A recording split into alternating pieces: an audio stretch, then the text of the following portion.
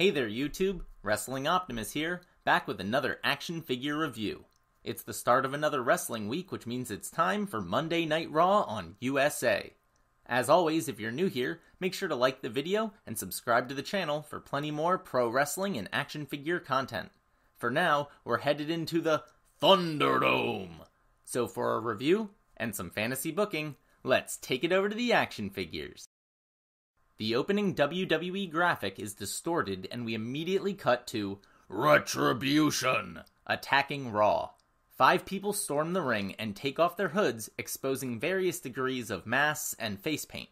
Still, Mia Yim and Mercedes Martinez are instantly recognizable. Mia confirms that her brothers and sisters now have WWE contracts, but they're not motivated by money and they're done reaching for that imaginary brass ring. Was that a jab at Miro? Dominik Dijakovic has a newly shaved head and a Bane mask? Ugh. He says they're here to destroy WWE and take out the superstars who are only here to collect a payday like a bunch of whores. Well, that escalated quickly. So let me get this straight. Having a WWE contract allows you to do whatever you want whenever you want. How is that any different than what Retribution has been doing this whole time? These are the guys that used Molotov cocktails and chainsaws. And why can't other superstars do what they want? Also, if their goal is to destroy WWE, why would they be hired by WWE? Oh, and since when did we shame people for trying to make a living? None of this makes any sense.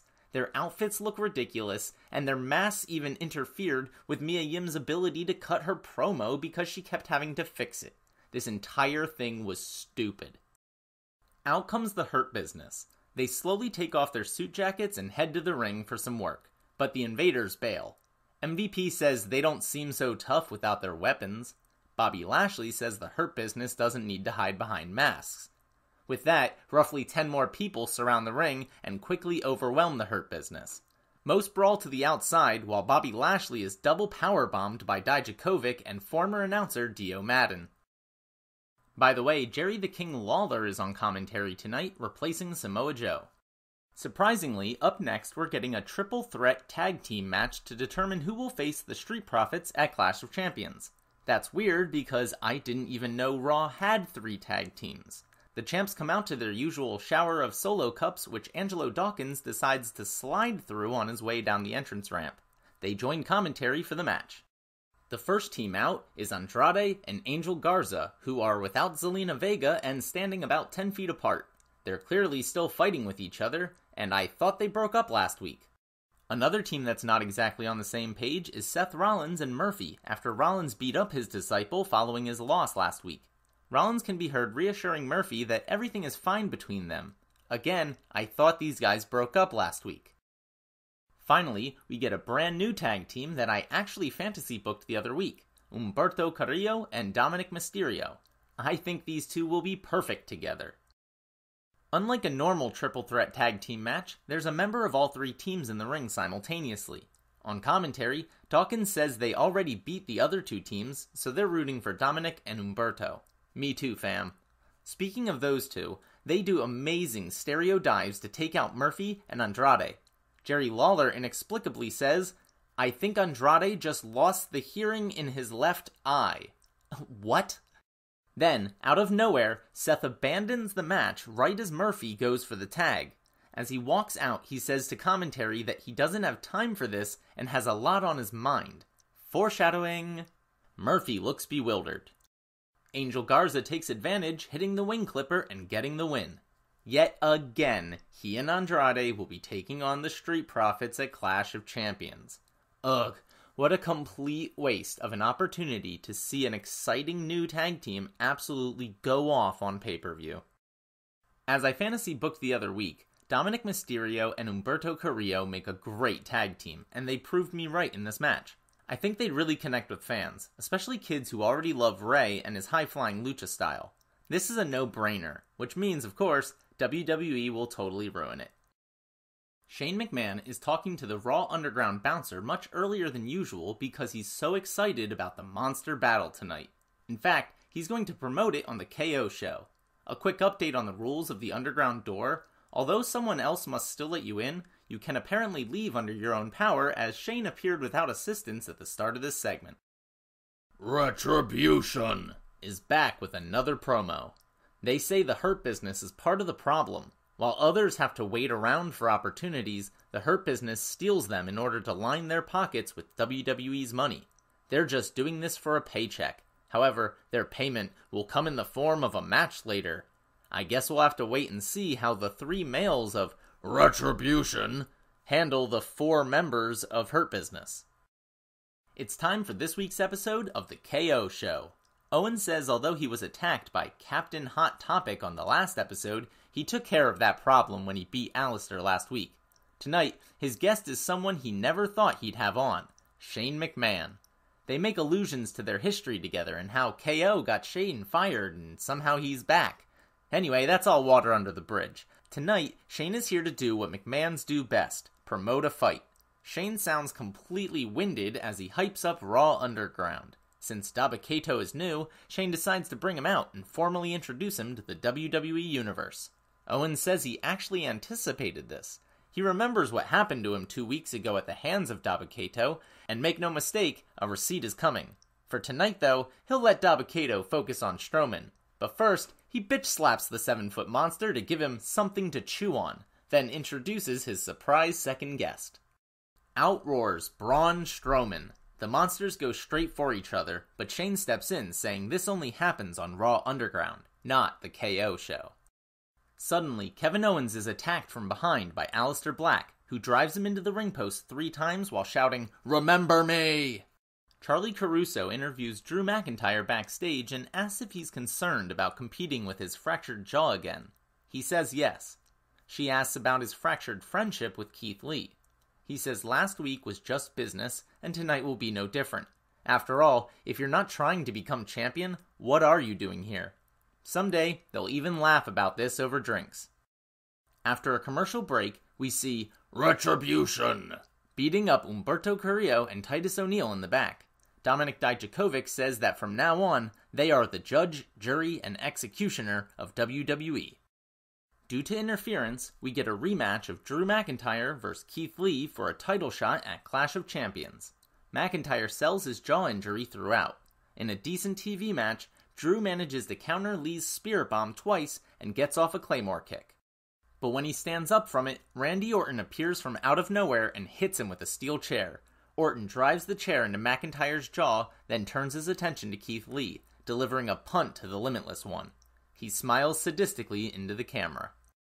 Randy cuts a promo in the ring saying shame on the WWE Universe for doubting that he'd make Clash of Champions.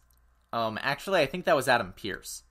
He says he's been the one consistent in the locker room for the last 20 years, so of course he'd make a world title match.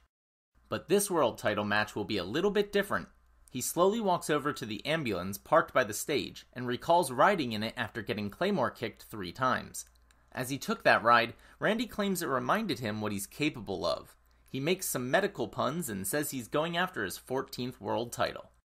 Asuka is asked who is the biggest threat to her title reign, Mickie James or Zelina Vega. Before she can answer, she's interrupted by Billie Kay, who says if Asuka is handing out title shots, why not give one to Jen in catering? They're both interrupted by Peyton Royce, who asks why not give her the title shot. Asuka asks if they're even still friends, and they say just because they're not a tag team doesn't mean they can't still support each other. That's exactly what I've been saying. Asuka says no one is ready for her at Clash of Champions, but tonight she is ready for Peyton Royce.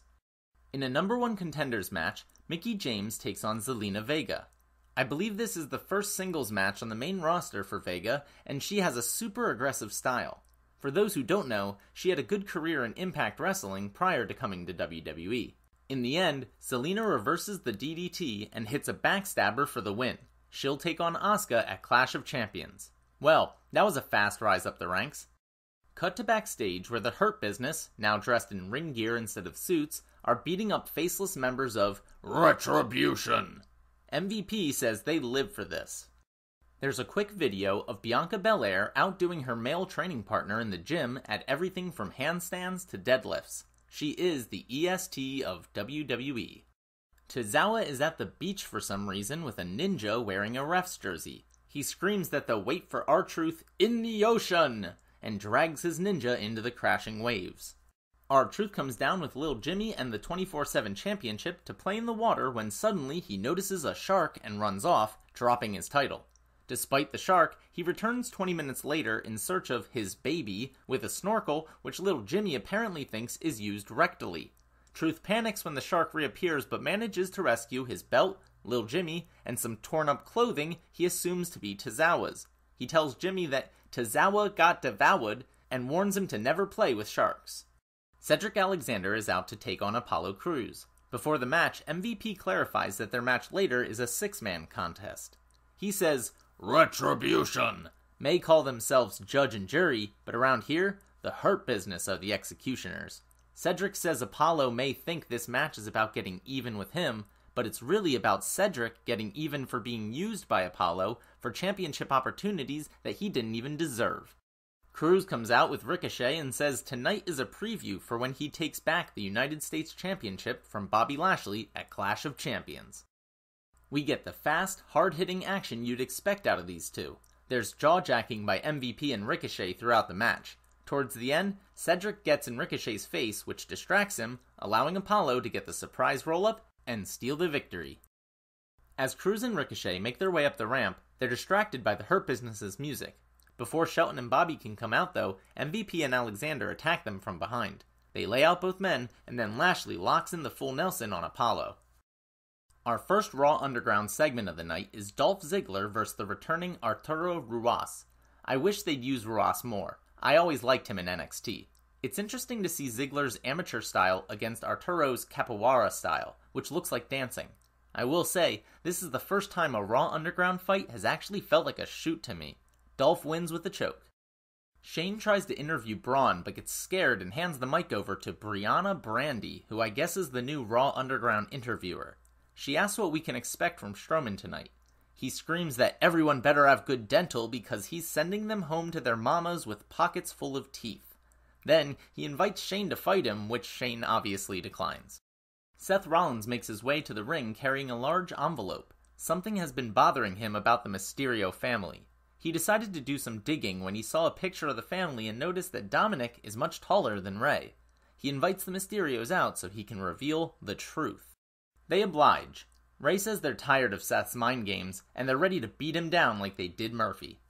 Seth says he's holding the results of a DNA test. He acknowledges that this has been done before, but says times and technology have changed. With a dramatic pause, he reveals that Rey is not the father. Obviously, Rey doesn't believe him. Then it dawns on Seth. His guy only looked into Rey's kid, but didn't specify which one. Perhaps Aalyah is the illegitimate child. He shows the clip of her consoling Murphy last week and says that's not something a Mysterio would do. Rey says he simply raised a compassionate daughter. Either way, Seth needs to back off. She's only 19. She's naive and knows nothing about their world. Aalyah takes offense to this comment and storms off with the family not far behind. Seth insincerely apologizes and leaves with a smirk. Lana and Natalya are taking on Nia Jax and Shayna Baszler with the Riot Squad on commentary. Ruby says even though Nia and Shayna are dominant as singles competitors, her and Liv are the real team, which is why they're going to win at Clash of Champions. I think we've heard this before. The match is less than two minutes and ends with Lana tapping out to the Kirifuda clutch. Jax and Baszler bicker before confronting the Riot Squad at ringside, but they escape.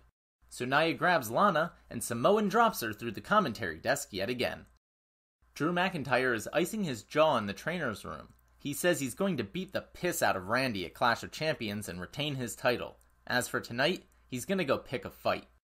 The Mysterios are arguing backstage. Aalyah says she's old enough to speak for herself. She shows off decent acting skills, saying she only came here to support Dominik. Now he's hurt, Rey's hurt, and who knows what Seth has planned for her and her mom. But what does she know? She's just a naive 19 year old. Ooh, mic drop. Back in Raw Underground, Riddick Moss is taking on Erik of the Viking Raiders. Things are back to looking like a work. Moss wins with a sucker punch. Brianna is back to interview Dabba-Kato this time, but he only wants to speak with Shane. He says tonight Braun will feel what Dabba-Kato is all about, whatever that means. Next, we get the match between Asuka and Peyton Royce set up earlier in the night. Billie Kay is at ringside. Peyton puts up a good fight and even gets a few near falls in before Zelina Vega attacks Asuka, causing the second of three DQs on the night. Vega screams, This is my time now, and runs back up the ramp. Murphy comes across Aalyah Mysterio backstage. He says everything with Seth has gotten out of hand and apologizes if he's done anything to hurt her. She seems to accept. Finally, it's the super heavyweight match we've been waiting for Braun Strowman vs. Dabba-Kato in Raw Underground. It starts as a fist fight, then spills into the crowd for a bit. Back on the mat, Strowman nails a right cross and starts the ground and pound, which is apparently enough for the ref to call the fight. Shane has an orgasm while Braun poses. I don't think this even lasted three minutes. All that build-up, not only for the match, but for Dabba-Kato, only for him to effectively get squashed. I've officially given up on this. After all that hype, it wasn't even my favorite Raw segment of the night. My fantasy book to save this would be to incorporate guys with legitimate backgrounds, like King Corbin, who's a Golden Gloves boxer, versus Shinsuke Nakamura, who has five MMA fights under his belt, with three wins. Let them treat it like a shoot, and maybe this could be okay. The team known as Retribution comes out through the audience to dim the lights and no music for their first actual match in WWE against the Hurt Business. Their names are revealed as Slapjack, T Bar, and Mace. Wow, those are atrocious, and they've rightfully been mocked online. Not only are those names bad, but it feels like a petty response to wrestlers wanting to own their likenesses on social media. Oh, and to answer my question from earlier, MVP is in a suit and not competing. At least Retribution has an aggressive style, but um shouldn't those protective face masks be illegal? Mace and T-Bar do have impressive size and look good together. As for Slapjack, aka Shane Thorne, he's a bumping machine with some good-looking strikes. What's so frustrating is this group could actually work. In the end, Lashley puts Slapjack in the hurt lock and T-Bar punches him. But since he wasn't legal, we get our third DQ of the night. A dozen or more nameless, faceless minions descend upon the ring and start brawling with the Hurt Business, only for Drew McIntyre's music to hit.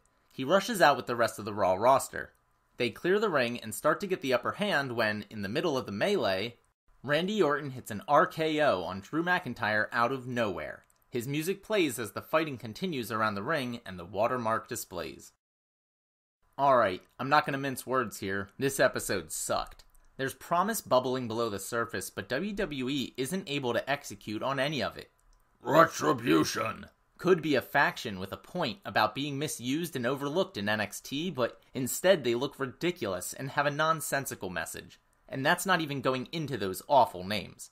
We could be seeing the emergence of a young, exciting tag team in Dominik and Humberto, but instead we're rehashing the Street Profits versus Andrade and Angel Garza again. Speaking of rehashing, did we really need to explore Dominik's paternity again? Keith Lee is a megastar in the making, but he lost by DQ for the second time in a row and remains firmly behind older guys like Orton in the pecking order. Finally, I was actually excited about Raw Underground for once, but I guess that will teach me to trust in WWE's booking. The hyped up monster battle was a complete nothing burger, and it can't even build to a feud between these guys.